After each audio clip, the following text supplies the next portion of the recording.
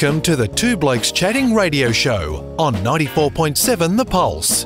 Music, interviews, news, and, well, Two Blokes Chatting. Now, here are the two blokes. Hey, I'll tell, you what I, I'll tell you what I'm impressed with. A couple of weeks ago, I was fortunate enough to be able to use uh, the legislation to enable me to get to Mildura. And to get to Mildura, one drives through the beautiful little town of Ouyen, and it is there where we go on Regional Roundup this morning. We're going off to Ouyen to talk to Tracey Lawson. Good morning to you, Tracey. Good morning, gents. How are you? Doing very, very well indeed. Drove through there the other day, wasn't allowed to stop under the rules of the exemptions, but my goodness gracious me, next time I'm able to get up there and I'm allowed to stop, I'm going to meet you in the front bar of the pub and we are going to have a cold drink on a warm afternoon. We will, and then we may even grab a six pack and take it up to the lake on a on a even warmer evening and sit up there and have a drink. Yeah, but if I'm getting to Mildura, that's probably not advisable because we do, of course, uh, only condone drinking in moderation. You understand? Don't be miserable. Spend Okay, the night in all a right, motel all and kick no, the enough. local business along. All right, fair enough. Uh, Tracey, how are things out at the lake? The lake is looking superb at the moment, fellas. We've um, it's it's full to the brim. It's got fish jumping in it. Uh, we're moving slowly but steadily towards uh, our camping areas and that sort of thing. And it's just it's just a real little oasis. And and heading into our long summer months, I already know it's going to have an absolute flogging this year. Now, we have a regular fishing correspondent. They'll be on next Saturday morning. Neil, mental note, please talk to John Didge about the Ouyen Lake. Indeed. Because uh, we're, we're trying to get people, uh, the purpose of this sort of discussion, to get people out of their houses when best they can and get into regional Victoria and, and see some sights. And apart from vanilla slices, you now have a lake, so Ouyen is very much on the tourist map.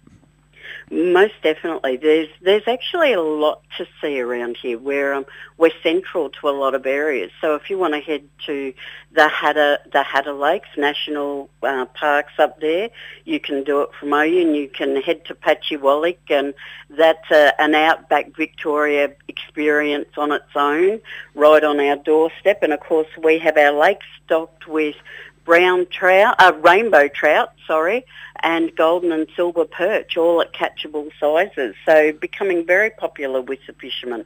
And I've got to say, and I know he won't mind me because he'll probably enjoy the plug. Uh, you've got a man who lives in your town called Nathan, and he is, apart from probably pro- providing language that's a little bit more colourful than we would allow on the radio, generally speaking, makes a damn good sausage. And uh, if you're going up there, don't worry about taking meat from here. Get up there and support the uh, the cleverly named Ouyen Butcher, I think is what it's called. but uh, he does a very fine snag. He does indeed, and I've got to thoroughly recommend the uh, the pork sausages as well, and uh, a mighty fine T-bone. And we'll have our barbecue area up and running before too long at, at the lake. So I'd actually say, grab a beer, grab a T-bone, and head for the lake. Magnificent. And one of the things that people don't, I, I, I was, you know, you sort of see something, you go, wow. Well, I, that was very much my reaction with the lake when I saw it. But the colour of it, like you think, you know, a lake in the country, it's going to be that murky, horrible brown colour. It's blue. It is. It's a beautiful colour blue. If you check out our Facebook page or that, it, you'll see the colour of it. Now, we drain it every night and repaint the bottom of it. It's beautiful. Yeah, and, Oh, and, and the sad thing, Tracey, is the people who listen to our program probably believe you. Probably would. Uh, Certainly Tra- Rob does. Tracey, you mentioned something earlier which got to me thinking. Uh, we we talk a lot about footy on this this show, and we talk about the importance of football to small country towns. And you mentioned uh, Patchewollock. The most wonderful football team that I'd ever heard of in my life was Tempy Gorya Patchewollock. Uh, that's a beautiful name. Is it still in existence, or is it like many continued to fold into other teams, uh, other small towns?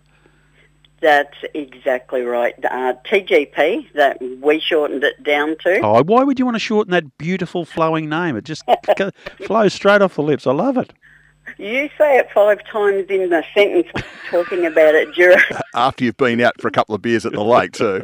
yeah, and and try and scream it from the sidelines. Yeah, that's a bit difficult. Yeah. Yeah, Yeah. exactly, especially after the aforementioned hub.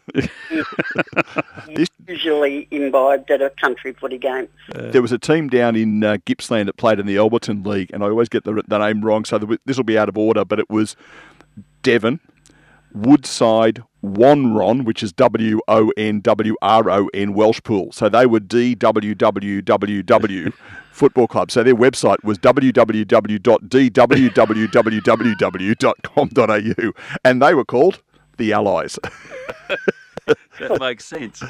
So, what's happening up there? Well, obviously, COVID stopped you from playing footy for a period of time, which it takes a bit out of that country town culture. But um, what's the state of Tempy Gorya Patchewollock these days? uh, TGP over the years folded into a couple of other, amalgamated with a couple of other sides. And uh, about 2016, they all amalgamated our local um, football league folded and they all our local teams amalgamated into what became Ouyen United. So it, it had taken quite a few years um, to do it, and the very last step was the amalgamation between uh, the Ouyen football side and the Walpi Up Underbool uh, team. But before that, um, Goyapachi had amalgamated into Ouyen, uh, the aforementioned Ouyen United, and then we just kept rolling. Now, anybody who has any idea of uh, small town living and, and country areas understands that there's quite a few rivalries when that happens. So for communities to absorb uh, what was almost play to the death sort of games and become a united team to take on somebody else, it's a big step. Yeah, it is. Uh, when I was lived in South Australia, there was a, a football club called Peak, which is in the Mallee part of uh, uh, Adelaide, heading up. I'm sorry, South Australia, heading up towards the Murray, and the historian worked out that, that the Peak Football Club was the amalgamation of originally 26 small community football teams going back to the Second World War that had slowly just rolled and rolled and rolled. So um, by the time you get the Ouyen United finished, you might finish up, well, sounds like you've got 10 or 15 in there already. Uh, we're well into the 20s, and Paul Daffey actually wrote a book about it several years ago, and it's called The Totem Poles of, of the Mallee, and, and that's exactly what happened. There were tiny football clubs from Torrita and Walpeup and Delco and Goya and you name it, and they've all over the years rolled into the behemoth that is now Ouyen United. So um, it's a, it's been a long time coming, but probably the length of settlement as well. I'm going to sound like either a genius here or a complete idiot, so run with me on either way. Uh, who do the Kangaroos normally play against when they play their football these days? So we're part of the Sunraysia Football League. So we actually play against Mildura, um, Wentworth, um, Robinvale. South Mildura. Yep. the Demon. Yes. Yep. Oh, look at us. We're just rolling them out. No, I, I, the idiot component was I, I was almost sure it was the Kangaroos, and I was going to look really silly if it was the Bulldogs or something. Um, but Right. the, the Vic Hotel in Ouyen seems to be home base for the club, though. Is that so? They are very much the Ouyen centric sort of club. Uh, uh, pretty well, um, comprising uh, when they have events, they're either here in Ouyen, but they do pay a lot of um, a lot of homage to where they come from. So there's nights out at the Patchewollock Hotel as well. There's nights out at Underbool at the the Rec Reserve Centre out there. So they move around as best they can for a country town, and that's part of what melds them all together realistically. So what else is happening in Ouyen? We've we've done the history of the Ouyen Football Club. So what else is going on? We've got a couple of minutes left. Well, I'd like to tell you a little story that started in uh, 2018, if I can. Sure. Back to the lake and to the footy club as well. So 2018, we had a group of farmers from here who were doing okay at that point, and our neighbours across the river in Pooncarie, Broken Hill, those sort of areas, in the midst of a savage drought. So they organised from here for truckloads of hay to be transported up to to the Pooncarie area and beyond, and over seven um, double trailers left here, and along with all the hay and, and uh, stock food and other supplies for farms, there were parcels for families and, and essentials for home and water, which was in really low supply.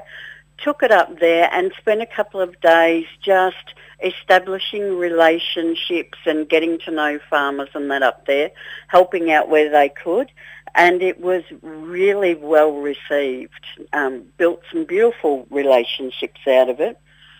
Come several weeks ago and the Ouyen Lake Committee got a message from one of the farmers that was helped out several years ago and he turned things around and was doing okay, not on top of the world, but doing okay and in a position now to express his thanks at, at the help that was given. So he donated a pen of sheep to be sold at the local stock exchange at the sale yards.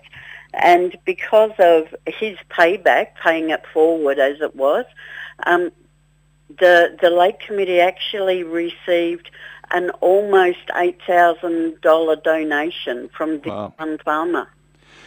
And, and and people just don't get it, do they, Tracey? Until they've lived in a town. Uh, I mean, we we laughingly refer to Geelong as a regional town when in fact it's it's actually a regional city. Um, but when you've lived in a town like that, that is what it's all about, isn't it? It's just all about making sure that everybody um, is is helping each other out. As as much as you certainly can. And, and these were neighbours. We consider them neighbours, and they were they were doing it really tough. And this little expedition, and I took photos of it as they were leaving town. Um, it included our school kids who were putting together Christmas presents for the kids up in that area because they knew they wouldn't get much this year Yeah. year. And, uh, you know, there were parcels of essentials for women to go up and that sort of thing. And it was as much as all of that that went, it was the camaraderie and probably the couple of esky full of beers that went from the Vic Hotel as well. Yep. And they all got to sit around and talk. And that mental health aspect of something coming from here to there was incredible, but then also being able to repay it has uh, has been just beautiful to watch. And this repayment now comes straight across all our communities because we reap the benefit of it at the lake where everybody's set to enjoy it. Absolutely. That is absolutely sensational, uh, Tracey. Rob's had to go, sadly. He has to go and organise the next program, so he's rushed off into the other studio. So um, it's up to me now to say thank you for joining us. It's always great to have a chat to you, and I, I promise you, I will get there one of these days and have that cool drink in a warm pub. I'm looking forward to it, Neil. Lovely to talk to you. Thank you so much, Tracey. Tracey Lawson there from Ouyen.